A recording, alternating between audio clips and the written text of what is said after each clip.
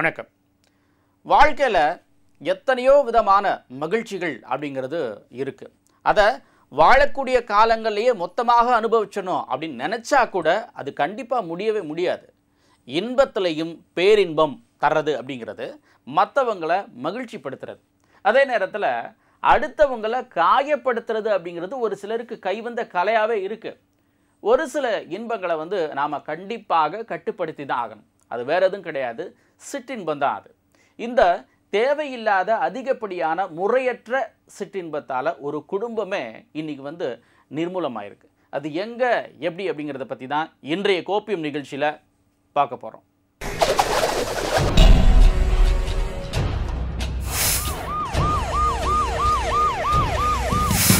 கல்லூரி மாணவியுடன் கணவர் ஓட்டம். இரண்டு மகன்களை எரித்துக் கொன்று தற்கொலை செய்த மனைவி. கள்ளக்காதலால் சீரழியும் கலாச்சாரம். உள்ளே போய் பிள்ளை எழுப்ப முடியுதா நம்மளால எழுக்க முடியும். எங்கள் நெருப்பில் ஆவி வெளில வந்து விழுந்துச்சு. இந்த கல்லூரி மாணவியுடைய இந்த செயலால் ஒரு குடும்பமே தீக்குளித்து தற்கொலை செய்து கொண்ட இந்த சம்பவம். கோப்பியம் உண்மையும் பின்னணியும். ஆட்டம் பாட்டம் கொண்டாட்டம். இது இல்லாத வாழ்க்கை எதுவுமே கிடையாது அப்படின்னு சொல்லிட்டு சிலர் வந்து எப்போவுமே சொல்லிட்டு இருப்பாங்க. ஆனால் எதையும் அளவாக வைத்து கொண்டால் எந்த பிரச்சனையுமே வாழ்க்கையில் வராது. திருமணத்துக்கு முன்னாடி வேணால் ஒரு விளையாட்டு பிள்ளையாக யார் வேணாலும் இருந்திருக்கலாம். ஆனால் திருமண பந்தத்துக்குள்ளே வந்துட்டோம் அப்படின்னா நம்முடைய பொறுப்புணர்ச்சி கூடும் அப்படிங்கிறத நிறைய பேர் தெரிஞ்சு வச்சுருக்கிறாங்க. இப்படி நிறைய பேர் தெரிஞ்சு வச்சுருந்தும் கூட சரி என்னதான் நடக்குதுன்னு பார்ப்போமே அப்படின்னு சொல்லிட்டு சில தேவையற்ற வழிகளில் போய் விழிப்புதுங்கி நிற்கிறத பார்க்குறோம் படிச்சிருக்கோம் செய்தித்தாளையும் நம்ம படிச்சிருக்கிறோம். வாழ்க்கையில் இந்த நெறிமுறைகள் அப்படிங்கிறத சரியாக கடைபிடிக்க தவறுனதுனால ஒரு குடும்பமே சின்ன பின்னமாகி போயிருக்கு. அறந்தாங்கியைச் சேர்ந்த ஒரு விவசாயி ஒருத்தர் காலேஜ் படிக்கக்கூடிய ஒரு பொண்ணோட காதல் கொண்டு அவங்களோட ஓட்டம் பிடிச்சிட்டார். அவருடைய குடும்பத்தில் இது வந்து பல அதிர்ச்சிகரமான சம்பவங்களை ஏற்படுத்திடுச்சு மனமுடைந்த அவருடைய மனைவி செய்த காரியம் பொதுமக்களை மிகப்பெரிய அதிர்ச்சியில் ஆழ்த்திருக்கு அது என்னங்கிறத இப்போ பார்ப்போம். புதுக்கோட்டை மாவட்டம் அறந்தாங்கி அருகே உள்ள வல்லவக்காடு கிராமத்தை சேர்ந்தவர் முத்து இவரது மனைவி ராதா. இவர்களுக்கு அபிஷேக் அப்ரித் ஆகிய இரண்டு மகன்கள் இருக்கின்றனர். முத்து சில பத்து ஆண்டுகளுக்கு முன்பு மலேசியா நாட்டில் வேலை பார்த்து வந்தார். தற்பொழுது சொந்த ஊரான வல்லம்பக்காட்டில் விவசாயத்தில் ஈடுபட்டு வருகிறார். முத்துவிற்கும் கல்லூரியில் பிகாம் படிக்கும் கமலி என்கிற விஜயலட்சுமி என்ற இளம்பெண்ணுடன் தொடர்பு ஏற்பட்டு இருக்கிறது இருவரும் காதல் ஜோடிகளாக நகரை வலம் வந்தனர். முத்துவும் அந்த இளம்பெண்ணுக்கு பல பரிசுகளை அடிக்கடி வாங்கி கொடுத்ததாக கூறப்படுகிறது. விரைவில் உன்னை திருமணம் செய்து ராணி போல் பார்த்துக் கொள்வேன் என முத்து காதல் வசனத்தை அள்ளி வீசியதால் சொக்கி போன கல்லூரி மாணவி முத்துவுடன் மேலும் இணக்கமாகி பல்வேறு இடங்களுக்கு சுற்றித் திரிந்து தனிமையில் காதல் போதையில் திளைத்ததாக கூறப்படுகிறது. இவர்கள் இருவரும் இப்படி ஜோடி போட்டு ஊர் சுற்றி வருவது ஊரில் பேசிக்கொண்டதாகவும் தெரிகிறது. இருந்தாலும் இது மனைவியின் காதுக்கு எட்டாமல் முத்து பார்த்து கொண்டார். ஒரு கட்டத்தில் இந்த கள்ளக்காதல் விவகாரம் மனைவி ராதாவிற்கு தெரிய வருகிறது இது குறித்து கணவரிடம் கேட்க என் மீது சந்தேகமா என பேசி பேசி ராதாவின் மனதை கரைத்துவிட்டு இந்த பக்கம் டிமிக்கி கொடுத்துவிட்டு மீண்டும் தன்னுடைய மன்மத கலையில் கட்டழபித்து விட்டதாக கூறப்படுகிறது. பல நாள் திருடன் ஒரு நாள் அகப்படுவான் என்ற பழமொழிக்கேற்ப கையும் களவுமாக மனைவி ராதாவிடம் பிடிபட்டார். இதன் காரணமாக இருவருக்கும் வாக்குவாதம் முற்றி சண்டையாக மாறியிருக்கிறது. இருந்தாலும் குடும்பமானம் பறிபோகாமல் இருக்க பொறுமையை கடைபிடித்த ராதாவை ஏமாற்றிவிட்டு மீண்டும் முத்து கல்லூரி மாணவியுடன் ஊர் சுற்றியதாக கூறப்படுகிறது. இதன் காரணமாக இருவருக்குமே சண்டை மீண்டும் துவங்க கடந்த மூன்று ஆண்டுகளாக ஒவ்வொரு நாளும் சண்டையாகவே இருந்து வந்திருக்கிறது. இந்த நிலையில் முத்து சம்பவத்தன்று அறந்தாங்கி அருகே உள்ள ரத்தினக்கோட்டை பகுதியைச் சேர்ந்த கல்லூரி மாணவி விஜயலட்சுமியுடன் ஓடிவிட்டதாக அறந்தாங்கி காவல் நிலையத்திற்கு புகார் வந்ததை அடுத்து போலீசார் விசாரணையில் இறங்கினர். இந்த நிலையில் தனது கணவர் வேறு ஒரு பெண்ணுடன் சென்று விட்டதாக அக்கம்பக்கத்தார் கூறியதின் பேரில் மனமுடைந்த ராதா கோபத்தின் உச்சிக்கு சென்று நிதானத்தை இழந்திருக்கிறார். இனியும் உயிர் வாழ்வது நிம்மதியாக இருக்க முடியாது என நினைத்த ராதா தற்கொலை செய்து கொள்ளலாம் என்ற முடிவிற்கு தள்ளப்பட்டு இருக்கிறார் ஆனால் தற்கொலை செய்து கொண்டால் தன்னுடைய குழந்தைகள் அனாதையாகி விடுவார்களோ என்ற அச்சம் ராதாவை குழப்ப அந்த விபரீத முடிவை எடுத்தார் ராதா. என் பேர் தேவராஜ பெருமாள். இறந்த என் தங்கச்சி நான் வந்து என் தங்கச்சி இறந்தது எங்கள் அவங்க அண்ணன் ராதாங்கிறது ரெண்டு பசங்க ஆள் ரெண்டு பசங்களும் இது இதுவும் இருந்துச்சு. மன உளைச்சலுக்கு ஆளாகி இடைஞ்சலும் ரொம்ப அதிகரிச்சிருக்கு. அதுக்கு இன்னைக்கு மட்டும் இல்லை எட்டு இடைஞ்சல் கொடுத்துக்கிட்டே இருந்திருக்கு மாப்பிள்ளை அந்த மாதிரி இருக்கிற டயத்தில் இந்த மாதிரி இருந்த உடனே நமக்கு வந்து இந்த மாதிரி ஆயிடுச்சு நம்ம கணவரால் அப்படின்னு சொல்லி இது வந்து எப்படி நடந்துச்சுன்னு தெரியல. ஒரு மனைவி அப்படின்றவங்க எந்த அளவுக்கு பொறுமையாக இருக்க முடியுமோ அந்த அளவுக்கு ராதா பொறுமையாக இருந்திருக்கிறாங்க. தன்னுடைய கணவர் இளம் கல்லூரி மாணவியோட ஊர் சுற்றிட்டு இருக்கிறார் அப்படின்னு தெரிஞ்சதும் அவங்க வந்து அந்த காதலை கைவிட்டுருங்க அப்படின்னு சொல்லிட்டு அவருடைய கணவரை பல தடவை கெஞ்சியும் பார்த்துருக்குறாங்க எச்சரிக்கை பண்ணியும் பார்த்துருக்குறாங்க. ஆனால் கொஞ்சம் கூட மனைவியின் பேச்சை கேட்காமல் அந்த கள்ளக்காதலே முக்கியம் அப்படின்னு அவர் ஊர் சுற்றினதாக தெரியுது. உச்சகட்டமாக அந்த இளம்பெண்ணோட அந்த கணவர் ஓடியே போயிட்டார். இதனால விரக்தியின் உச்சிக்கே போயிட்டாங்க ராதா. ஒரு பக்கம் குடும்பமானம் காட்டில் பறக்க குழந்தைகளோட அனாதையாக நின்ற ராதாவிற்கு என்ன செய்கிறோம் என்ன செஞ்சிட்டு இருக்கோம் இனிமேல் என்ன செய்ய போகிறோம் அப்படிங்கிறதே தெரியல. இனிமே நாம் வாழ்கிறது அப்படிங்கிறது வந்து நடைப்பிணத்துக்கு சமம் அப்படின்னு நினச்ச ராதா விபரீதமான முடிவு எடுத்தாங்க. அப்படி என்ன பண்ணாங்க அப்படிங்கிறத இப்போ பார்ப்போம் அபிஷேக் மற்றும் அபிரித் ஆகிய தன்னுடைய இரண்டு மகன்களுக்கு இரவு உணவு கொடுத்துவிட்டு படுக்கை அறையில் தூங்க வைத்தார். பிறகு தான் ஏற்கனவே வாங்கி வைத்திருந்த பெட்ரோலை பிள்ளைகள் மற்றும் தன் மீது ஊற்றிக்கொண்டு தீயை பற்ற வைத்ததாக கூறப்படுகிறது. ராதாவின் அலறல் சத்தம் கேட்டு அக்கம்பக்கத்தார் உடனடியாக கதவை உடைத்து மூன்று பேரையும் மீட்டனர். ஒரே அறைக்குள் தீயில் படுகாயமடைந்த ராதா மற்றும் இளைய மகன் அப்ரித் இருவரும் சம்பவ இடத்திலேயே உயிரிழந்தனர். படுகாயங்களுடன் மீட்கப்பட்ட மூத்த மகன் அபிஷேக் அறந்தாங்கி அரசு மருத்துவமனைக்கு கொண்டு வரப்பட்டு முதலுதவி சிகிச்சை அளிக்கப்பட்டு மேல் சிகிச்சைக்காக புதுக்கோட்டை அனுப்பி வைக்கப்பட்டார். அங்கு சிகிச்சை பலனின்றி அதிகாலை அபிஷேக் உயிரிழந்தார். சண்டை. நேற்று ஃபுல்லாக ஒன்று படுத்துக்கன்னு என்னன்னே எங்களுக்கு தெரியாது. நைட்டு அது வாட்டிக்கு எந்திரிச்சு கொளுத்திக்கிடுச்சு. அதுக்கப்புறம் தான் தெரியும் என் புருஷன் இந்த மாதிரி மேலே பொண்ணு ஓடி போயிட்டோம்னு சொல்கிறாங்க ஆனால் எங்களுக்கு தெரியாதுன்ன வரைக்கும். அது உண்மையாக பொய்யான்னு எங்களுக்கு தெரியாதுன்ன வரைக்கும். இப்போ எத்தனை வருஷத்துக்கு முன்னாடி கல்யாணம் நடந்துச்சு? கல்யாணம் நடந்து பதினாலு வருஷம் ஆச்சு. ரெண்டாயிரத்தி ஆறில் நடந்து எத்தனை குழந்தைங்க இருக்காங்க? ரெண்டு குழந்தைய ரெண்டு பையன். தான் ஏ வேற குடும்ப சண்டை எதுவும் இருந்துச்சாக்கா குடும்ப சண்டையெல்லாம் ஒன்றும் இல்லை அவங்க புதுசாக அடிக்கிறதும் சண்டை. குடும்ப சண்டையெல்லாம் ஒன்றுமே இல்லை. சந்தோஷமா தான் இருந்தாங்க சந்தோஷமாக தான் இருந்தாங்க. வேற என்ன நடந்துச்சு? அது என்ன நடந்துச்சுன்னு தெரியலையேண்ணே இல்லை வழக்கமாக அந்த பையங்களாம் வெள்ளனே தூங்க மாட்டாங்கன்னு சொல்கிறாங்களே பத்து மணி ஆகும் தூங்குறதுக்கு. நைட்டு எப்படி தான் தூங்குனாங்களே தெரியல. இந்த பிள்ளைய தான் உட்காந்துக்கு இருந்தேன். எங்கள் வீட்டுக்கார ஃபோன் அடிக்காம ஒரு அம்மா கொண்டு கொடுக்க போயிட்டேன். வந்து பா திரும்பி பார்க்குறேன் பிடிச்சி எரியுது என்ன பண்ணீங்க ஒன்று இதையாவது நாங்களும் தண்ணியை தூக்கி ஊற்றி அமர்த்தினா வச்சோம். டாக்டர் ஆம்புலன்ஸுக்கு ஃபோன் பண்ணி அதை சொல்லி தூக்கிட்டு போயிட்டாங்க உள்டப்பா போட்டுக்கிட்டே கொளுத்திட்டாங்களா அது? மேலே தாப்பா ஊட்டிக்கிட்டாரு ஆ கதை உடச்சு தான் நீங்கள் அதை உடச்சு தான் பண்ண அவங்களுக்குமே கையெல்லாம் காயம். ஆ. ரெண்டு பேருக்கு. இங்கே யாருமே இறந்தது? இங்கே இறந்தது வந்து அவங்க பொண்ணு கொஞ்சம் ராதாங்கிறவங்களும் அபிரித்துங்கிறவங்க தான் இங்கே இறந்தது அபிஷேகம் குருக்கடி கொண்டு மூன்று பேரையும் கதவை உடைத்து மீட்கும் முயற்சியில் ஈடுபட்ட உறவினர்கள் பிரேம் மற்றும் ஆனந்த் இருவரும் தலை கை கழுத்து பகுதியில் படுகாயங்களுடன் அறந்தாங்கி அரசு மருத்துவமனையில் சிகிச்சை பெற்று வருகின்றனர். இறந்த சிறுவர்கள் இருவரும் அறந்தாங்கியில் உள்ள தனியார் பள்ளியில் எட்டாம் மற்றும் ஆறாம் வகுப்பு படித்து வருகின்றனர். போய் கதவை தள்ளி பார்த்தா தள்ள முடியல. உள் தப்பா போட்டதால் நாங்களும் உடச்சி உடச்சி பார்த்தா உடைக்க முடியல. என்னால் தள்ள முடியல. என் மச்சானும் நானும் சேர்ந்து தள்ளி. உள்ளே போய் ஃபுல்லே எழுப்ப முடியும் இழுத்தா எங்களால் இழுக்க முடியும் எங்களும் நெருப்பில் ஆவி வெளில வந்து. உங்களுக்கு எங்கேங்க சார் காயம்? எனக்கு கை ரெண்டு கை ரெண்டு. தலையில் இது சம்பவம் எத்தனை நிமிஷம் நடந்துச்சு கரெக்டாக ஒன்பதே இருக்கும் நைட்டு ஒன்பதே கால் இருக்கும். ஆ. ஏற்கனவே அவங்களுக்குள்ள குடும்பத்தார இருந்திருக்கா? மேலே அவங்களுக்குள்ள பொண்டாடி பிரச்சனை சண்டை வந்து என்ன சின்ன சின்ன சண்டை நடக்குது. அப்புறம் அங்கே மேலே என்ன நடந்துச்சுன்னே தெரியல. அவங்களுக்குள்ளே என்ன நடந்துச்சு? கேட்டால் அவரை கேட்டால் ஒன்றும் சொல்ல மாட்டாரு இவரையாக கேட்டாலும் ஒன்றும் சொல்ல அந்த பசங்களை அந்த அம்மா எப்படி சார் பார்த்துக்குவாங்க? அதெல்லாம் நல்லா பார்த்துக்கணும். அதெல்லாம் இந்த முறையிலான அது மாதிரியெல்லாம் ராதா வந்து சூசைட் பண்ணதுக்கு காரணம் தன்னம்பிக்கை இல்லைங்கிறது தான் வந்து ஒரு மெயினான காரணமாக இருக்குது தன்னம்பிக்கையோடு வாழ்ந்துருக்கலாம். தன்னம்பிக்கையோடு எதிர்த்து போராடி இந்த சமூகத்தில் ஒரு பெண் வந்து எதிர்த்து போராடி வாழலாம். எத்தனையோ முன்னுதாரணமாக பெண்கள்லாம் இந்த சமூகத்தில் இருந்து வாழ்க்கை போராட்டத்தில் போராடி முன்னுக்கு வர்றாங்க.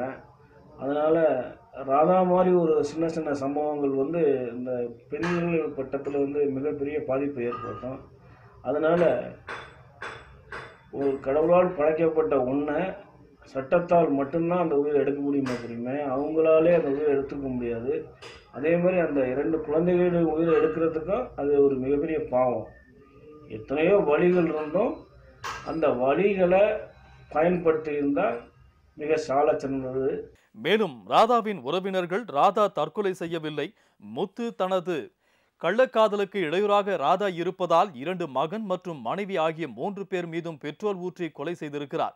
ஆகவே முத்துவை உடனடியாக கைது செய்து உரிய தண்டனை வழங்க வேண்டும் என்று ராதாவின் உறவினர்கள் இறந்தவர்களின் உடலை வாங்க மறுத்து அறந்தாங்கி அரசு மருத்துவமனை முன்பு சாலை மறியல் போராட்டத்தில் ஈடுபட்டனர்.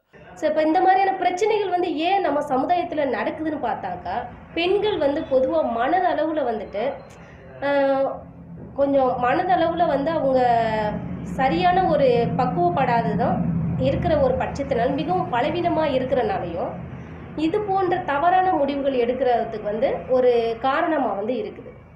பெண் அப்படின்னு எடுத்துக்கிட்டோம் அப்படின்னா பெண் அப்படிங்கிறவர் யார்?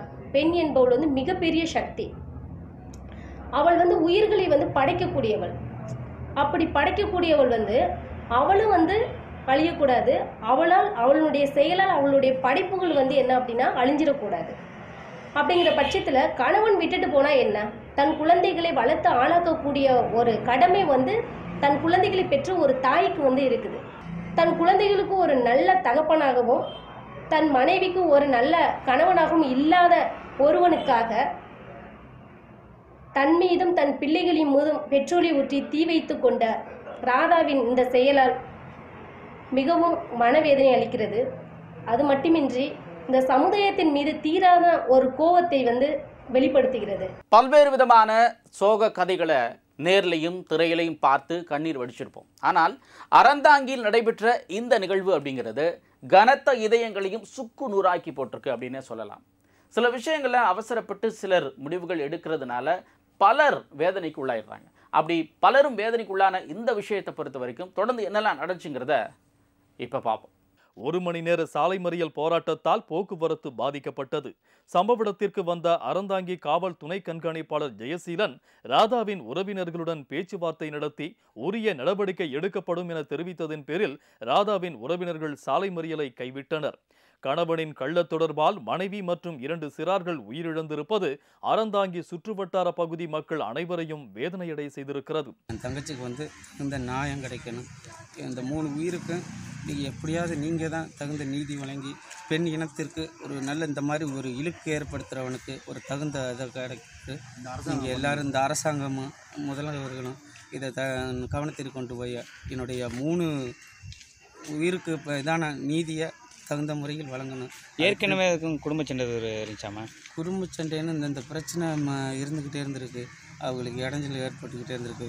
அதை எங்கள்கிட்டையும் சொல்லாமல் அது மனசுக்குள்ளேயே வச்சு மன உளைச்சலாகி அதிகமாக கல்யாணம் பண்ண போகிறேன் கல்யாணம் பண்ண பொண்ணு இதே இதாக இருந்தது இப்படி இருந்தோடனே என் பிள்ளைகளை கொண்டுட்டாங்க வணக்கம்.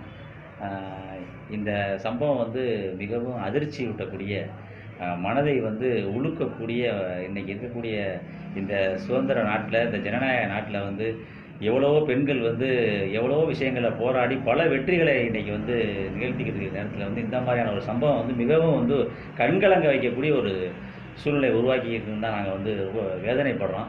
இன்றைக்கி இன்னைக்கு வந்து நீதித்துறையாக இருக்கட்டும் இல்லை காவல்துறையாக இருக்கட்டும் அனைத்து துறைகளுமே வந்து பெண்களுக்கு மிக மிக முக்கியத்துவமாக புது புது சட்டங்கள்லாம் இன்னைக்கு வந்து அமெண்ட்மெண்ட்டுகளும் எல்லா விதமான சட்ட திட்டங்கள் எல்லாமே வந்து பெண்களுக்கு சாதகமான ஒரு சூழ்நிலையை தான் உருவாக்கியிருக்கு அந்த நிலைமையில் வந்து இந்த இந்த தாய் அன்னைக்கு வந்து இந்த தீப்பிடிப்பு சம்பவங்கிறது வந்து அந்த இரண்டு சின்ன பச்சை குழந்தைகளுடைய உயிரை வந்து பறிக்கக்கூடிய சூழ்நிலை வந்து அந்த தாய்க்கு ஏற்பட்டிருக்கு.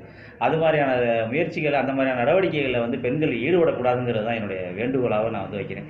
அதே நேரத்தில் வந்து பார்த்தீங்கன்னா வந்து அந்த பெண் வந்து முயற்சி எடுத்திருக்கலாம் ஒரு நீதிமன்றத்திலேயோ ஒரு காவல் நிலையத்திலேயோ இன்னும் அறந்தாங்கி சுற்று சுற்றுவட்டார ப பகுதிகளில் வந்து பார்த்தீங்கன்னா இன்னைக்கு வந்து நிறையா வந்து தன்னார்வலர்கள் என்ன சொல்ல போனோம்னா சமூக ஆர்வலர்கள் பல சங்கங்கள் எவ்வளவோ இருக்குது ரோட்டரி கிளப் ஜேசி நிறைய இருக்குது இந்த மாதிரி விஷயம் இதில் நாடி இருக்கலாம். காவல் நிலையத்தில் நூறு சதவீதம் தீர்வு கிடைக்கும். நீதிமன்றத்தில் ஹண்ட்ரட் பர்சன்ட் இன்றைக்கி வந்து பெண்களுக்கு அநீதிகளை வந்து தட்டி கேட்கக்கூடிய சூழ்நிலை இன்றைக்கி நூறு சதவீதம் உருவாகிருக்கு ஆனால் அதை வந்து அவசரப்பட்டு இது மாதிரியான ஒரு தவறான முடிவுகள் வந்து அந்த இரண்டு குழந்தைகளுடைய வாழ்க்கையே இன்றைக்கி முடிஞ்சு போச்சு அப்படிங்கிறது தான் வந்து ஒரு வேதனையான ஒரு விஷயமா இருக்குது அதனால் இருக்கக்கூடிய தாய்மார்களாக இருந்தாலும் சரி இளம் பெண்களும் சரி குழந்தைகளும் சரி பெண் குழந்தைகளும் சரி தங்களுக்கு ஒரு அநீதி நடக்குது அப்படின்னா தானாக முன் வந்து வெளியில் வந்து இதை வந்து எனக்கு இந்த மாதிரி ஒரு சம்பவம் நடந்திருக்கு அப்படின்னு ஒரு நீதிமன்றத்தை காவல் நிலையத்திலே நாடி அதுக்கான தீர்வை எட்டினா தான் அது வரக்கூடிய இனிமேல் வரக்கூடியவர்களுக்கு ஒரு முன் உதாரணமாக இருக்கும். இது குறித்து நாகுடி போலீசார் வழக்கு பதிவு செய்து தீவிர விசாரணையும் மேற்கொண்டு வருகின்றனர். தனி மனித ஒழுக்கம் என்பது நாளுக்கு நாள் குறைந்து வருகிறது என்பது சமீப காலத்தில் நாம் பார்த்து வருகிறோம். யாரும் செய்யாததையா நான் செய்துவிட்டேன் என்ற அகந்தையும் ஒரு சிலருக்கு இருந்து வருகிறது. ஒருவனுக்கு ஒருத்தி என்ற நிலைப்பாடும் தகர்த்து எறியப்படுவதாக சமூக ஆர்வலர்கள் குற்றச்சாட்டை முன்வைக்கின்றனர். ராதா எடுத்த முடிவு தவறு என்றும் கணவனின் நடவடிக்கை பிடிக்கவில்லை என்றால் பேசி தீர்க்கப்பட வேண்டும். இந்த விஷயத்தில் ராதா பலமுறை பேசி பார்த்தும் கணவர் திருந்துவதாக தெரியவில்லை. அதற்காக தற்கொலைதான் தீர்வு என முடிவெடுத்ததாக கூறப்படுகிறது. இது குறித்து மனநல ஆலோசகர்கள் என்ன சொல்கிறார்கள் என பார்ப்போம். வாழ்க்கையில் நமக்கு பிரச்சனைகளை எதிர்கொள்வதற்கு நம்ம பல நேரங்களில் நாம் மட்டுமே அது சந்திச்சிட முடியாது தீர்வுகளை கண்ட முடியாது. நண்பர்களோ உறவினர்களோ அரசாங்கத்திடமோ உதவி கேட்டு பிரச்சனைகளை நாம் எதிர்கொண்டு அதுலேருந்து மீண்டு வர முடியும். பல பேர் அப்படி தான் மீண்டு வர்றாங்க. அதனால் வாழ்க்கையில் சமாளிக்க முடியாத பிரச்சனை இனிமேல் நம்ம இருக்க முடியாது அப்படிங்கிற எண்ணம் வந்ததுன்னா நம்மளால் சமாளிக்க முடியும். சமூகம் இருக்கிறது. நம்மளை காப்பாற்றுவாங்க நம்ம உதவி கேட்டோம்னா நிச்சயமாக ஏதோ ஒரு வகையில் நமக்கு உதவி கிடைக்கும் அப்படின்னு நம்ம உதவி கேட்க தயங்கக்கூடாது. இன்னொரு முக்கியமான விஷயம் என்னென்னா தற்கொலை எண்ணங்கள் பல நேரங்களில் ஒரு சில நொடிகள் கழிது அதாவது உணர்ச்சி வசப்பட்டு பின் விளைவுகளை பற்றி யோசிக்காமல் சில பேர் தன்னை காயப்படுத்திக்கிற காரியங்களில் இறங்கலாம். அப்படி ஏற்படும் போது சில நேரங்களில் அது உயிரை உயிரிழப்பு ஏற்படுற அளவுக்கு கூட போகலாம். அதனால் அந்த மாதிரி எண்ணங்கள் ஏற்படுறப்ப மற்றவங்க பயந்துக்கிட்டோம்னா கொஞ்சம் நேரம் கழித்து அந்த எண்ணங்கள் மாறிடலாம். அதனால் அந்த மாதிரி எண்ணங்கள் இருக்கிறவங்க தயவுசெய்து தனிமையை தவிர்க்கணும். மற்றவங்கள்ட்ட பகிரணும். கூட இருக்கவங்க அதை அலட்சியப்படுத்தாமல் அது ஒரு இதெல்லாம் ஒரு விஷயமா அப்படிங்கிற மாதிரி பேசாமல் கவனம் கொடுத்து பேசணும். மனநலம் பற்றியோ மருத்துவ சேவை பற்றியோ அல்லது ஒரு கவலையாக இருக்குது பதட்டமாக இருக்குது டென்ஷனாக இருக்குது யாருக்கிட்டே பேசணும்னு தோணுது யாருக்கிட்ட பேசணும்னு தெரியல அப்படின்னா கூட அந்தந்த மாவட்டத்தில் இருக்கக்கூடிய அந்த உதவி என்ன தயங்காமல் அனைவரும் தொடர்பு கொள்ளணும். அது பெரியவங்களாக இருக்கலாம் மாணவர்களாக இருக்கலாம் பெண்களாக இருக்கலாம் யாராக இருந்தாலும் தயங்காமல் தொடர்பு கொள்ளணும். அதே போல் மாநில அளவில் நூற்றி நாலு ஒன் நூற்றி எட்டு போல் நூற்றி நாலு ஒன் ஜீரோ ஃபோர் அப்படிங்கிறது மனநல ஆலோசனை ஹெல்ப்லைன். அப்படி ஒரு ஹெல்ப்லைன் இருக்குது அதுலேயும் இருபத்தி நாலு மணி நேரமும் தமிழ்நாட்டிலிருந்து எங்கிருந்து வேண்டுமானாலும் தொடர்பு கொள்ளலாம். உரிய மனநல ஆலோசனை வழங்கப்படும். இந்த விஷயத்தில் யார் வேண்டுமானாலும் எந்த மாதிரியான கருத்துக்களை தெரிவித்தாலும் மனதில் ஏற்பட்ட வடுகளின் வலிகளை அனுபவித்தவர்களுக்கே தெரியும். இந்த மாதிரியான வழக்குகள் எண்ணிலடங்காமல் இருப்பதும் வேதனைக்குரியதுதான் என குறிப்பிடுகிறார் ஓய்வு பெற்ற காவல்துறை அதிகாரியான கருணாநிதி. இந்த நிகழ்வுக்கு பலரும் அந்த இந்த நிகழ்வு அந்த நபரும் அந்த விரக்தி அடைந்த அந்த பெண்ணும் காரணம் என்றாலும் அந்த அந்த நபருக்கு அந்த சபலத்தை ஊட்டி அந்த பெண்ணும் காரணம் என்றாலும் இதையெல்லாம் பார்த்து கொண்டு சும்மா இருந்த தங்க ஒன்றும் செயலாக்கம் செயல்படாமல் இருந்த இந்த நிகழ்வு இந்த மாதிரி ஒரு தவறான தொடர்பு நடந்து நிகழ்ந்து கொண்டிருக்கிறது. அதன் காரணமாக அந்த ஒரு பெண் பாதிக்கப்பட்டு கொண்டிருக்கிறார். பெண் ஒரு குடும்பம் பாதிக்கப்பட்டு கொண்டிருக்கிறது என்பது அவர்களை சுற்றி இருந்தவர் பலருக்கு இது தெரிந்திருக்கும். இதற்கு ஒரு முடிவு கட்டியிருக்க முடியும். அவர்கள் நினைத்தால் நிச்சயமாக முடிவு கட்டியிருக்க முடியும். ஒன்று அவர்களாகவே கல்லூரி கல்வி நிறுவனத்தில் உள்ளவர்கள் இது நடவடிக்கை சரியான நடவடிக்கை எடுத்திருந்தால் இதை ஆரம்பத்திலேயே முறையிலேயே கிள்ளி இருந்திருக்க முடியும். இந்த தவறான தொடர்பை. இது ஒரு மோசமான ஒரு தொடர்பு. இந்த தொடர்பு ஒரு மா மாறல் க கலாச்சாரத்தை சிதைக்கின்றது ஒரு கல்லூரி மாணவியிடம் ஒரு ம கல்லூரி ஆசிரியர் அதுவும் திருமணமானவர் தொடர்பு வைத்திருந்தார் என்பது அந்த கல்லூரி மாலை பேசப்பட்டிருந்திருக்கும். அந்த ஆசிரியர்கள் வெளி வரை இந்த செய்தி போயிருக்கும். அவர்கள் உரிய நேரத்தில் ஒரு தக்க நடவடிக்கை எடுத்திருந்தால் இவ்வளவு மோசமான ஒரு நிலை நிகழ்வு நிகழ்ந்திருக்காங்க எனவே இந்த மோசமான நிகழ்விற்கு அவர்கள் தான் நமக்கேன் அப்படின்று ஒதுங்கி இருந்த ஒய்மை சென்றோம் என்று சொல்வார்கள். நமக்கேன் வம்பு இருந்த ஒதுங்கி இருந்தவர்கள் காரணம். இந்த சமுதாயம் கெட்டவர்களால் மட்டும் தீமையை விளைவுகள் தீமையை தீய விளைவுகளை சந்திப்பதில்லை. இது போன்ற அதை பார்த்து கொண்டும் தங்களுக்கு அதை தவிர்க்கக்கூடிய வாய்ப்பும் வசதியும் சந்தர்ப்பமும் கிடைத்தும் அதை பயன்படுத்தி கொள்ளாமல் பார்த்து கொண்டு சும்மா இருக்கிறார்கள் இல்லையா? அந்த அவர்கள் நல்லவர்கள் என்று சொந்த சொல்லிக் கூட அவர்களும் இந்த மாதிரி தீய செயல்களுக்கு காரணம்தான் இப்போ இந்த நிகழ்வுக்கு அவர்களும் காரணம் அவர்களுக்கு முடிய இயலாவிட்டால் கூட இதை ஒரு காவல்துறையின் கவனத்துக்கு கொண்டு போயிருக்கலாம். செய்யலாம். இது ஒன்று இது ஒரு தவறான இதுதான். கா டார்ச்சர் அதாவது டொமஸ்டிக் வயலன்ஸில் இதை வரும் அட்ராக்ட் ஆகும். ஒரு கா ஒரு மனைவிக்கு நியாயமாக கிடைக்க வேண்டிய கான்ஜுகல் ரைட்ஸை கொடுக்காம தவறான தொடர்பு வைத்திருந்தாருங்கிறது நிச்சயமாக காவல்துறையினால் நடவடிக்கை எடுப்பதற்கு வழி இருக்கிறது. இப்பொழுது நிச்சயம் இப்போ எடுக்கலாம். இப்போ நடவடிக்கை இப்போவும் எடுக்கலாம். இருந்தாலும் இதை விட இப்பொழுது எடுத்ததுனால அந்த ஒரு மூன்று இறப்புகளை நாம் தவிர்க்க முடியாது. போன திறப்பு உயிர் திரும்பி வரப்போகிறது கல்லூரி மாணவியுடன் கணவர் ஊடியதால் அவமானம் தாங்காமல் மகன்களை கொன்றுவிட்டு தானும் தற்கொலை செய்து கொண்ட சம்பவம் அப்பகுதியில் உள்ள பொதுமக்களை பெரும் சோகத்தில் ஆழ்த்தியிருக்கிறது. இந்த கோப்பியம் நிகழ்ச்சி ஒளிபரப்பாகிக் கொண்டிருக்கும் இப்பொழுது வரை அந்த கள்ளக்காதல் ஜோடிகளை காவல்துறையினர் தேடி வருகின்றனர் என்பது குறிப்பிடத்தக்கது. தன் இரு குழந்தைகளையும் மனைவியையும் விட்டுட்டு வேற ஒரு பெண்ணுடன் ஒரு கணவர் சென்று விட்டார். அப்படிங்கிறது வந்துட்டு இது வந்து ஒரு கலாச்சார சீர்கேடுன்னு தான் இதை வந்து நம்ம வந்து சொல்லணும்.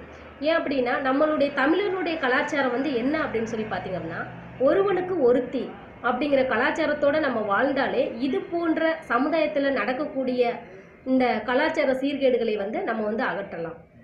அது மட்டும் இல்லாமல் அந்த கல்லூரி மாணவியினுடைய இந்த செயலால் ஒரு குடும்பமே இன்னைக்கு வந்து தீக்குளித்து இறந்து போயிட்டு இருக்குது. மிகவும் வருத்தமான ஒரு விஷயம் ரொம்ப கொடுமையான ஒரு விஷயம். இன்னைக்கு இருக்கக்கூடிய காலகட்டத்தில் கணவன் மனைவிக்கு இடையில் இருக்கக்கூடிய அந்யோன்யம் அப்படிங்கிறது ரொம்பவே குறைஞ்சிக்கிட்டே வருது. ஆண்ட்ராய்டுகளும் முகநூல்களும் நம்முடைய நேரத்தை அபகரிச்சிக்கிச்சு. யார்கிட்ட யாரும் பேசுகிறது அப்படிங்கிறது ரொம்ப அரிதாயிடுச்சு. பெரியவங்களுடைய ஆலோசனைகளும் இன்றைக்கி வந்து சுத்தமாக புறக்கணிக்கப்படுது. கொரோனாவால் ஒரு பழைய உணவு முறைகளுக்கு மக்கள் அனைவரும் திரும்பினது மாதிரி இந்த கலாச்சார சீரழிவுகளுக்கும் விரைவில் முற்றுப்புள்ளி வைக்கணும் அப்படின்றத எதிர்பார்த்து தான் காத்திருக்கணும். மீண்டும் அடுத்த கோப்பையும் நிகழ்ச்சியில் உங்களை எல்லாம் சந்திக்கிறேன். அதுவரை உங்களிடமிருந்து விடைபெறுவது Siva Kumar.